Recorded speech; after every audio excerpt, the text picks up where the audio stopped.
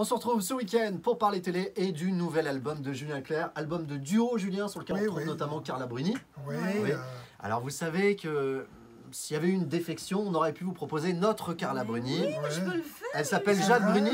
Imaginez, alors, une petite audition devant Julien Clerc, allons-y. Ce n'est rien. T'en passes, tu le sais bien, ce n'est Ah rien. ouais, c'est pas mal, c'est pas mal. Vous voulez signer On pour vous la écrira. On vous écrira. Mais dommage, il ne serait pas retourné. J'ai l'impression qu'il va pas m'appeler.